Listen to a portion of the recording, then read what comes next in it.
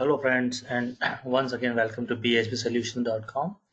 My name is Amit and today we'll be seeing first example of profitability and cost management cloud service. This is an example for custom calculation salary adjustment rule. This is a fairly simple example where I'm going to show you how do you uh, adjust your salary due to the inflation rate and uh, in a subsequent example we see more advanced cases.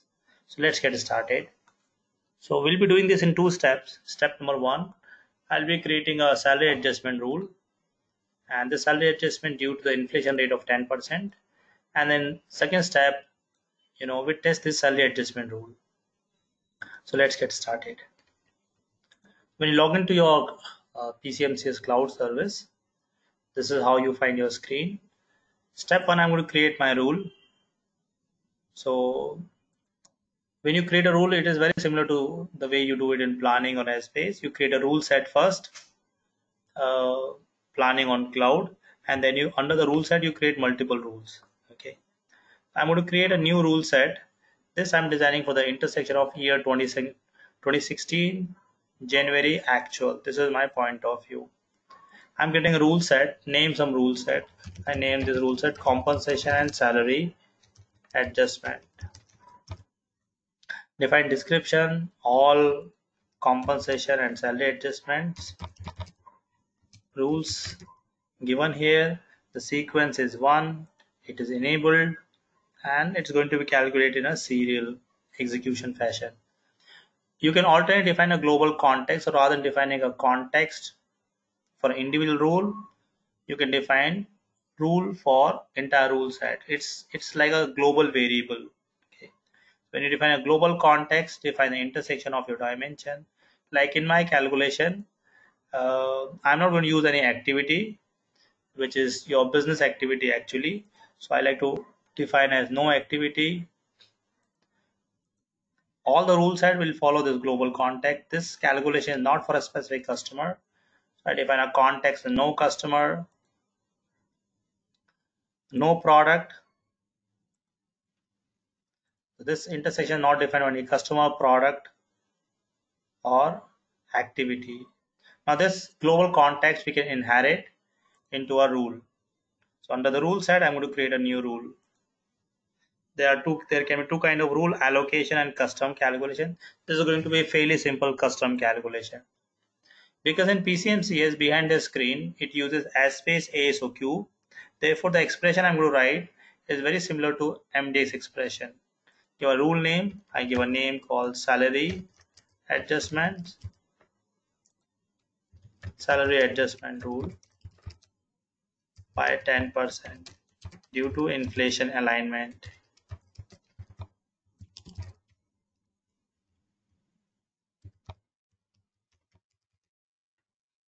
We enable this rule and define a sequence here. Now target is your left side expression. Target your left side expression you write a rule and source is your right side expression. Right. So what is your target? So the target you define left side expression. The entire rule is going to be calculated for the predefined dimension called balance. Balance is a system defined dimension PCMCS which maintain the intermediate result. Like in my balance dimension member, there the data will be input the input dimension and adjustment allocation will be taken place within a with respective dimension members. Okay. So i'll be inputting number two input. Input uh, and i'll be using result dimension as balance dimension. Now define your account and entity on the left side expression. So the whatever global context we have given few minutes before they serve like a fixed expression, no customer, no product, no activity. I define a fixed expression. And we define a formula over here. For which account? This calculation to be taken place for an account. Uh, this is salary account, right? So what the salary account is, I believe, the regular salary. Let me open and check what the name of the account. I don't remember exactly name of the account. We can check over here. Or I can check over here. change an alias so the salary adjustment is part of my operating expenses personal expenses regular salary. This is the name of the member. So I keep it. Okay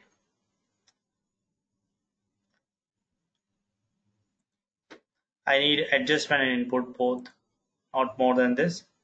Regular input I don't know why it is coming twice. Let's delete the additional row. Optionally you can keep all the members under your regular dimension balance dimension member. Okay. So this is regular salary. You can display an alias name or actual name both of them. This is going to be my target. Okay. So then the left side expression it is intersection of adjustment in regular salary and this is an entity. You could have done for any entity. I've chosen this sample entity over here. So which account select account dimension member.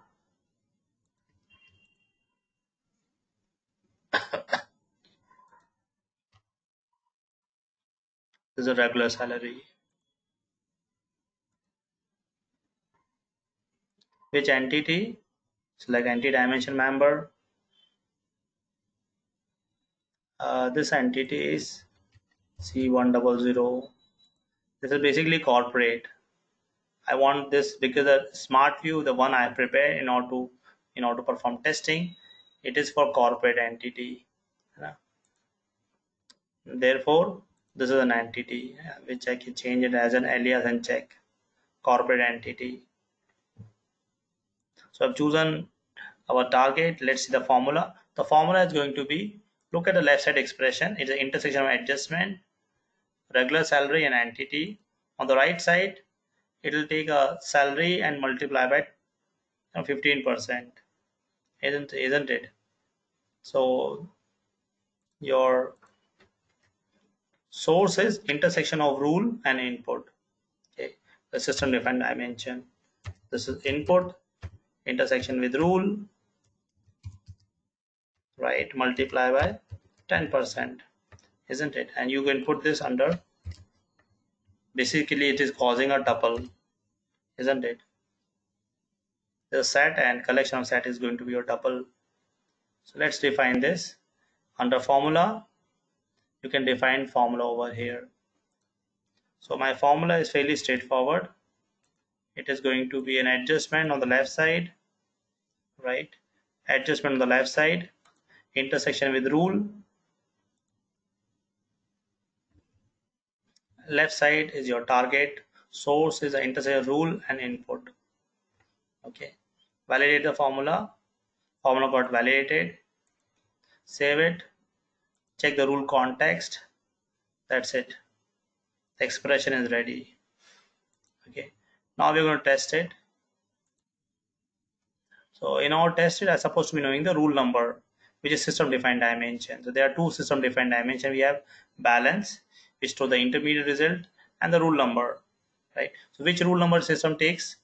Whichever rule number we has taken last time, increment by one. That's one way you can track it.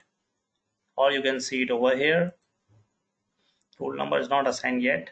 I can check the alternate way. This is my last business rule. A rule set in this rule set the last rule is r double zero twenty one so mine rule set would be 22 okay. I have taken over here. I'll take rule set 22 refresh. Okay.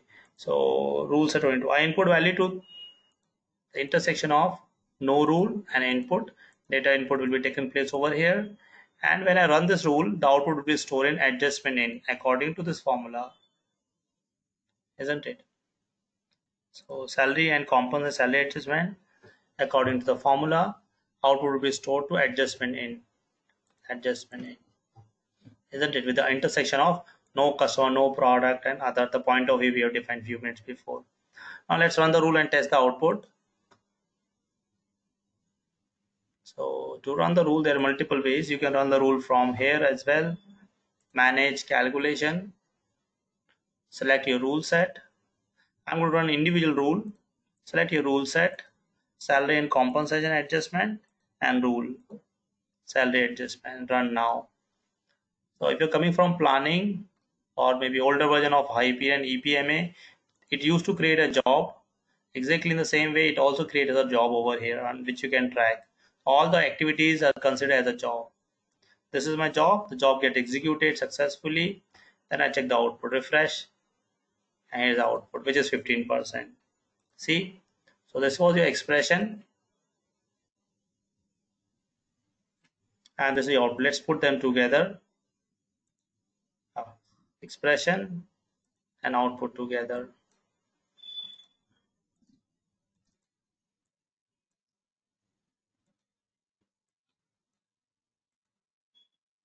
this is your formula and this is your output right? It is your salary it adjusted by 15 percent. I've taken a constant over here and subsequent example we take a variable okay? And the intersection the rule context is look at this. For no activity no product no customer no driver. No customer no driver no activity no product. Right? This is my intersection Data input is always done with the intersection of input and no rule, and output is rendered for the given rule and adjustment in. Okay. So that's it for today. Uh, in a subsequent session, I'll be talking about more advanced example of allocation and custom formula. Thank you for watching today's video. Please visit our website bispsolutions.com.